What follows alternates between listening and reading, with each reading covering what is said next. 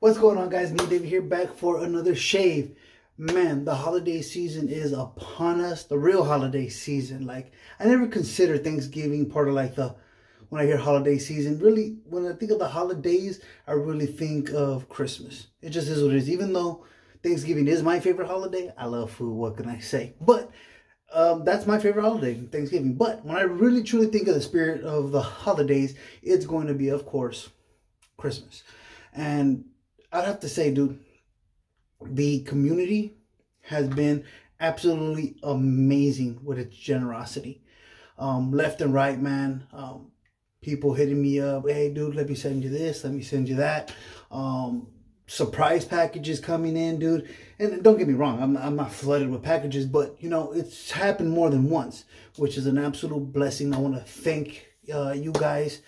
Um, really just truly deeply i fucking appreciate it dude. It's um it gets a little overwhelming sometimes how amazing the community is man. I always tell you guys the strength of this community isn't in the youtubes isn't in the instagrams isn't in facebook. The power of this community is in the people man. The people here keep me coming. Um and for those people that and it's, it's pretty often oh, I have so much stuff. I don't want to buy stuff. And, you know, I just kind of lurk around and stuff. Those are the people, the people that do that, they get tired of buying stuff and tired of like the community, the, the, the hobbyists are the people that are not making human connections. Um, the human connections in this hobbies will make it so fucking amazing, dude. The people in this community are great. And, um, yeah, so the people that usually die out are usually the people that keep to themselves, don't fucking make friends, and you get burnt out. I don't care to buy a bunch of soaps. I buy them for one, the YouTube community, because it's fun to do to, to do videos with you guys, and I have fun talking about new releases with my friends, with the CDBs, with Junior, with Lather Hog, with Sepherton Shaves, and with Nate Barrowmeister. I love talking about new releases with those guys. I don't, I don't need any more soap. I could never buy another soap again in my life and I'd be totally fine with it. I don't give a shit about buying soaps. What I care about is having fun talking about those soaps with my buddies. That's the great part of it, man. So again, I said all that to just say, man, thank you guys for all your generosity. It has been an amazing year for wet shaving, at least for me, dude. Uh, one of the most fun times I've had in wet shaving, period. I'm in year nine, I think I am now. It's just crazy. So today I'm actually going to be shaving with two items that were sent to me. I don't know if you want to call them as gifts or signs of appreciation or whatever you want to refer to them as, but um, they're fucking amazing. They're great. So first I'm going to go with the soap. Bam. Citrus Blast Shave Soap. I want to thank the people over at uh, the Razor Company, therazorcompany.com. They sent me this soap along with another holiday release, which we'll get to that in another video, but they sent me these two soaps. I appreciate it. Let's welcome Van Yulay back into the den because I haven't used one of their soaps in a while. And I've always loved Monica stuff. I just haven't gotten There's just so much shit to get to. I just can't get to it all. But bam, so thank you, Razor Company. I really appreciate you guys. Um, I don't know, putting your trust in me, uh, sending me some items. Just, uh, again, I don't even know why they sent me the items, but I do appreciate nonetheless, man. And I hope I do this product justice. I hope I do your company justice um, with this video. Thank you so much. And there ain't no secret that um, I got group, uh, uh I don't know if you want to call them, they're clicks. You just certain, you click with certain people, then you don't with others. It just is what it is. I have my group of friends. Well, part of the, that group of friends is my boy, Chris Bailey. CDB, the Reverend, the pastor of the Church of Bailey. He sent me this baby right here. That's right. You guys have actually seen Chris Bailey sent me a badger brush. This badger brush, the handle was made by Craving Shaving in their faux burl, which I think is a really cool effect that they make over there with a the executive knot. This is the hand-tied knot. Um, or custom knot or uh, assembled in America knot from Frank over at Strike Gold Shave. So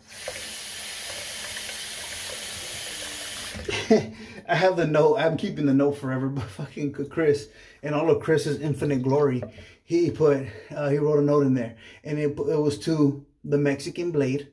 Um, well, if you don't know what that's about, I had a dream that I was slaying vampires with Buffy and Blade. Um, um, either way, that, that's a story for another day. Some of you have already heard it. Um, so he calls me now the Mexican Blade.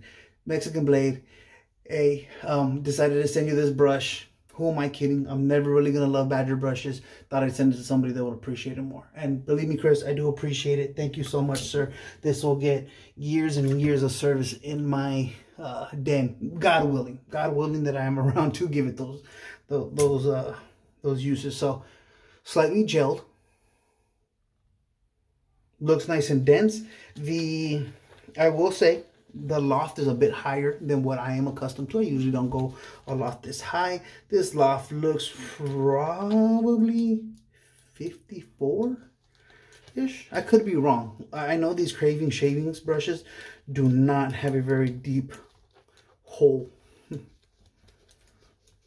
We shall see nonetheless though. Gonna load up this Van Yulay nice and heavy. I've never been a fan of the little, uh, the way she kind of pumps in the the the the little stars and stuff. The very first soap that I ever got from Monica when she first got into like the hobbyist side of shaving with us in the Facebook groups, it was just a smooth pour. I really, really enjoyed that one. I'm gonna load nice and heavy. Maybe heavier than I need, I'm not sure, but it's been so long that I've used this stuff that I'm going to make sure I give it the very best possibility to succeed. That looks heavy enough to me. If it can't succeed after that, it is shitty. Which, again, I've had Monica soaps before. I've always enjoyed them.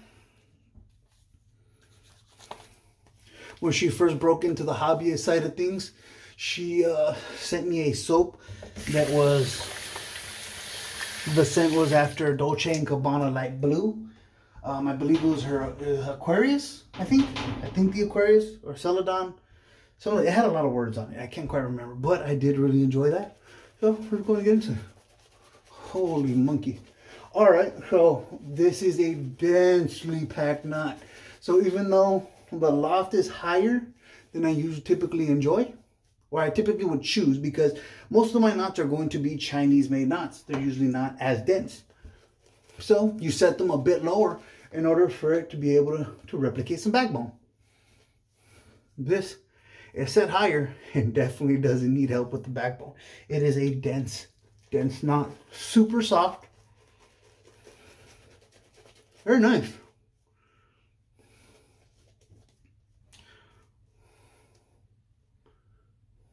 Now, the the finished product on these knots have been a little consistent inconsistent. Um, we've had a couple that have uh, kind of fallen apart. Hopefully that doesn't happen to this one.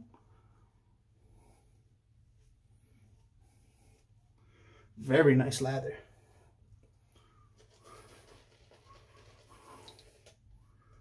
I think if Van Yulay just went with somebody that would kind of help them rebrand, you don't have to change the name, but some of their labels are a little weird. They don't look like a solid ass quality designed label. Um, I think that they, they kind of updated the packaging and made it a bit nicer. I think that they have a good product. There's not much not to like about it. Um, like this label right here, I actually like the design of this label, but it doesn't look sharp. It looks kind of like you copied and pasted it. That's, you know, and labels are a big thing now. Whether you like it or not, labels are important to a lot of the consumers here. So, and then the razors I'm going to be using today, are two razors that I'm sending out to a couple of buddies of mine. This one is finished on a 15K Suehiro. This is going to be for Nate Baromeister. I already sent him my Coticle Edge, and now he's going to go ahead and try the 15K Edge. And then this one right here is for my buddy Bob Gonzo, rocking and shaving with Gonzo here on the YouTubes. This has my signature Coticle Edge. I prefer the Coticle. It's just my favorite fucking finisher. It just is what it is. Um, and I'm sending this for him test out my edge, see how he likes it. Hopefully he does enjoy it. So we're going to go ahead and go with the 15K. See how this feels. So I did a little bit more. So I have already tested this edge before, but I didn't do something that Robert Ortiz had recommended to Junior when he was having a conversation with him. He said, finish it under running water. So even though I took this razor to the 15K already, I didn't completely finish it under running water. It was just under, it was just a wet stone.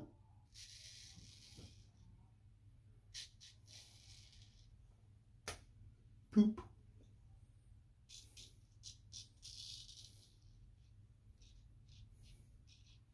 Very nice. I'll tell you, that Suehiro, 15K, it's comfortable, man. I really, I actually do look forward to getting that Suehiro 20K. I think it's going to be a really nice addition. And again, once again, I have a different type of finish on my razors. I currently I'm using as finishers. I'm using the Suehiro 15K for a synthetic edge. I am using the Belgian Coticle, which is my. It's sharp enough to get through anything apparently, but it's just not the sharpest. But it's really really shines and comfortable. And then I got the ILR, which has been a nice balance of both. You know, it's smooth. It, it seems to smoothing out that 12K finish that I was using before. So I actually did finish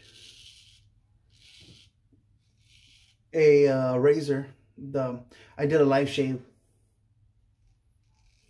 in lather and blade with a Wade and Butcher bowl razor.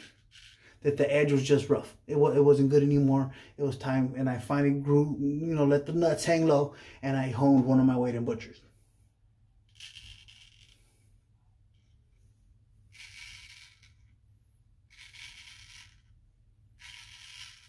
and I actually finished it.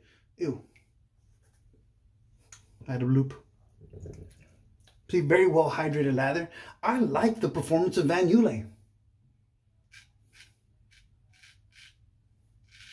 Unfortunately, um, some people have had some issues with the proprietor. I guess she can be a little sensitive at times. Um, she's been great to me. Anytime I've ever talked to Monica, she's been fantastic.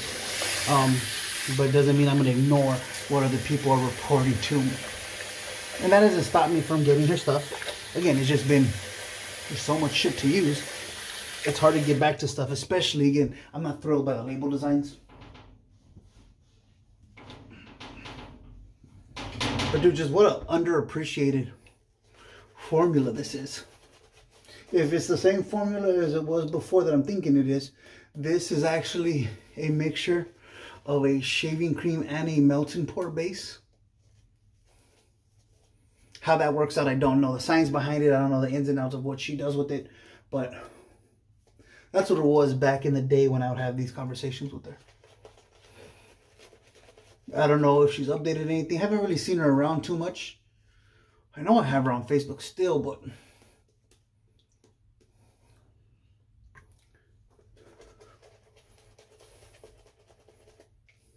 Look at that.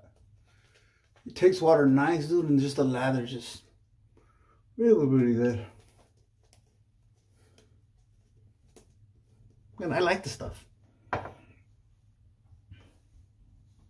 It's one of those underappreciated um, products. And again, I don't know if it's her fault or the people's fault. It's just, for whatever, it's just not, it doesn't do as well as you would think. But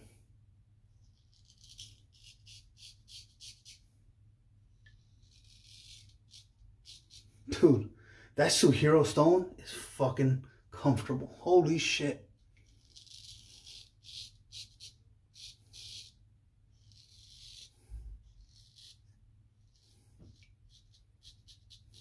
That's a nice goddamn edge.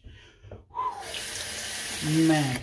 So, allegedly, I watched a video that Robert Ortiz did about the Suehiro 20K. And that allegedly is like the the the JNAT killer that it, it mimics pretty well what a JNAT does. Now, I don't know about all that nonsense, but this 15K is fucking crazy smooth.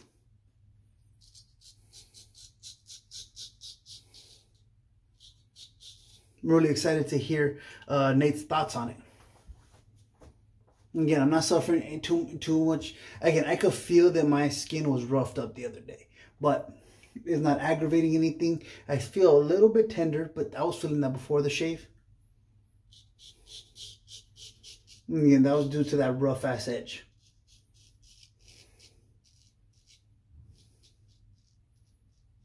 But this right here feels really good. Nate, you're going to enjoy that edge, brother. I think you are.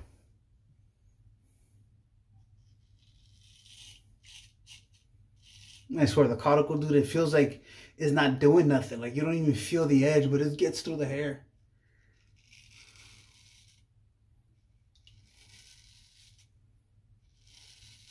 So I'm doing, I'm doing the long, very slow strokes, just so you can see if anything grabs or kicks up or anything, and it's just, it's just going.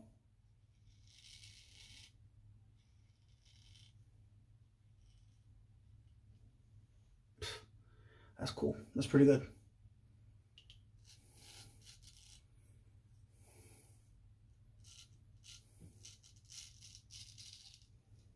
So I had to drag it a little funny because these scales are a bit chunky and I was trying to see if I could avoid getting um, any lather on the scales, but I just can't.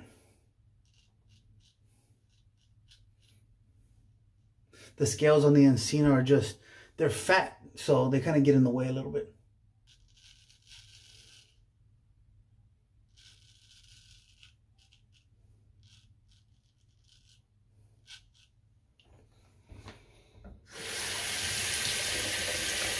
Both of these edges are good. They're both passable. They're both going to be sent out as is.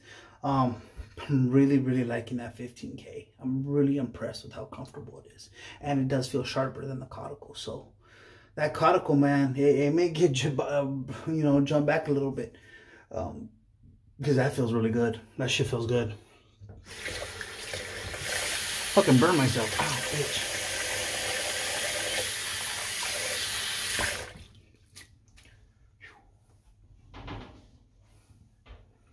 Third and final pass. I will say this craving shavings, this is kind of like their signature shape. Doesn't do much. These, these not that I've noticed more than this shape here. Yeah, see, with with the, it's not a badger hair. It's actually my own little stupid mustache here. I noticed with this badger hair here, I know again I still been roughed up because I feel it here and here and I felt that from the initial lathering up. No fault of the brush, but I was, I was left pretty beat up after that last shave, man.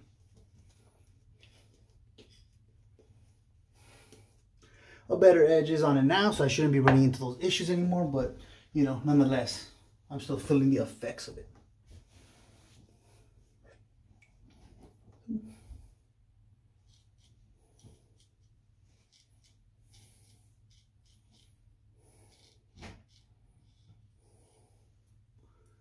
I could do the long strokes on the against the grain, I mean across the grain, but this is my favorite pass. I'm gonna do it the way that I usually enjoy it, and just short, calm, just nice feeling strokes.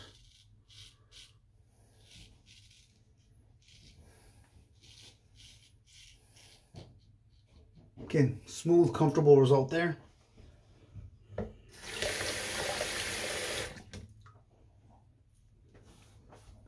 Very hydrated lather, so it is making a mess. More so than usual.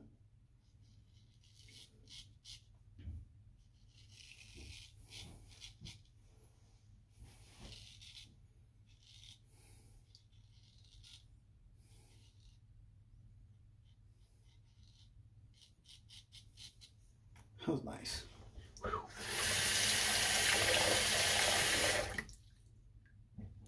Again, do I'll say it over and over again. Where the Coticle really shines is those against and across grains, man. They just feel so goddamn good.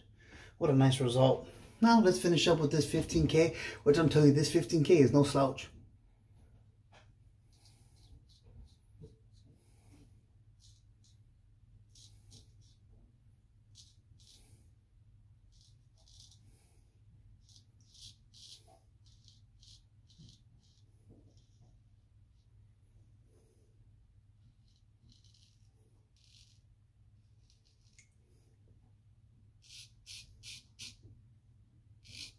See right there, I feel that tenderness right there. That Wade and Butcher got me good. Yeah.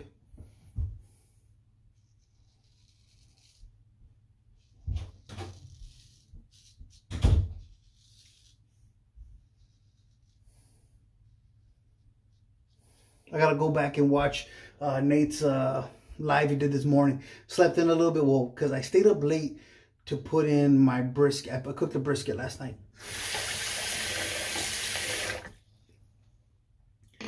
and it was probably about in the 30s. I think last night, late early, late 30s, early 40s in temperature, and the grill was having a little issue getting up to temp. It got there, but I still had to watch it, so I didn't go to bed until like one in the morning my time. So I missed his live. Gotta watch it. He used the Ace of Spades. He loved it. Well, that's the end of the third pass. Let me go ahead and rinse this off, and we'll get into the final thoughts. All right, we are back. Go ahead and rinse this off.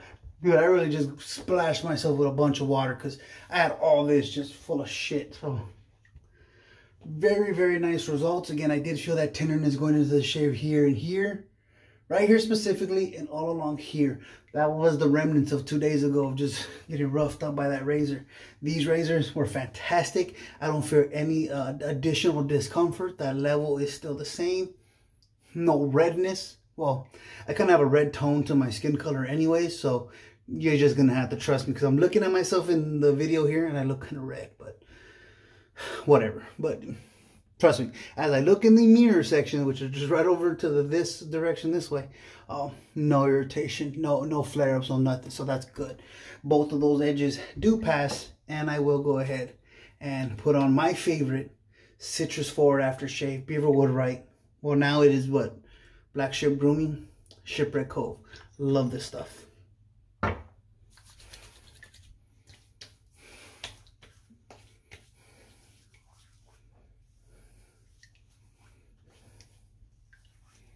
Very nice. Very, very good. All right.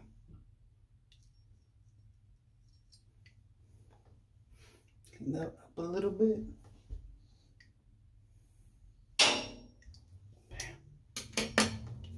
All right, so let's talk about the products. Van Yulay, man. Again, just one of the, there's many of them, but this is one of the most underappreciated uh, soaps that there are. I love the base. I feel hydrated. I feel good. I love the performance in the shave. It lathers fucking super easy. It loads super easy. Just the stuff ain't special again. I like this this label. I really, really do. It just doesn't look sharp at all. It looks a little fuzzy. It looks like you're not even like I need a new glasses prescription or just something. It just looks a little fuzzy. And um yeah, if she just upped her label game, even the same tubs, up your label game, I think Van Yulay could really see an uptick in popularity because it's just, they're not very pretty to have around. But alas, they still work really well. So that's the type of stuff you're just going to have to deal with. It just is what it is. Thank you so much, Razor Company, for sending me this. I really do appreciate it. Um, it's fucking good, man. It's really, really good. And the Craving Shavings Brush with the Frank Misa Strike Gold Shave Executive 1. Now, I think this is 1. Um, I think as they go on, Executive two, three, four, I believe that's how it's to follow in terms of the batches and whatnot. But it's a fucking good knot. Dense, set higher than usual, but still has plenty of backbone. So, hell of a job, man. Hell of a job. I look forward to see how it breaks in. I know Chris got about five, six shaves out of that. I'm going to get many, many more. So, hey guys, if you made it to this point of the video, you know, damn well, I appreciate you, man. Thank you guys for riding with me all year. 2020 is a year that I came back just really fast and furious with the videos, and you guys have just been down with me from the whole time, man. Uh, thank you so much. I appreciate y'all. I love y'all. Uh, please come continue on. Enjoy your holidays with the family that you are allowed to see. Um, and yeah, just have a good time, man. This is too much. It's a crazy world, I know, but there's still a lot of good shit going on in it, man. So again, stay safe, stay healthy, and I'll catch you on the next shave.